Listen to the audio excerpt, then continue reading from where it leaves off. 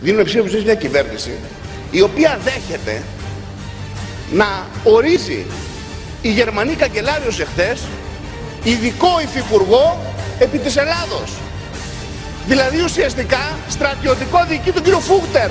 Ο κύριος Φούχτερ θα είναι ο κολλητός της κυρίας Μέρκελ που θα ελέγχει την πατρίδα μου. Που θα ελέγχει τη χώρα μας. Που θα ελέγχει τη δημοκρατία. Το ξέρω κύριε. Εσείς έχετε υποταγή. Έχετε προσκυνήσει.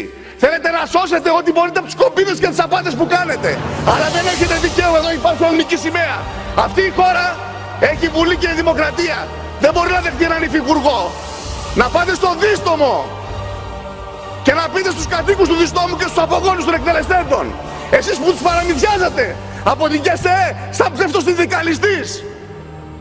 Και να τους πείτε ότι εμείς βάλαμε τον κύριο Φούχτερ σαν υφυπουργό Γερμανό. Να τους πείτε ότι ο κύριος Ράιχμπάχερ θα κάνει κομμάτι στην πατρίδα μας.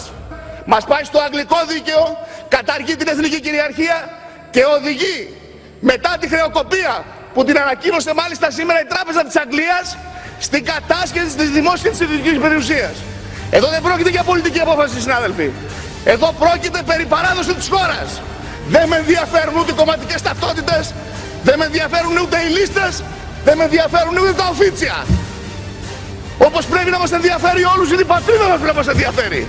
Ας αφήσουμε τους νεοφιλελεύθερους και τους προσκυνημένους και εκείνους που έχουν γονατίσει τις αγορές να πάνε μαζί και ας ενωθούμε οι υπόλοιποι. Από όπου και αν ανήκουμε. Από το Κομμουνιστικό Κόμμα, από το ΣΥΡΙΖΑ, τη Νέα Δημοκρατία, από τον Πασόκ.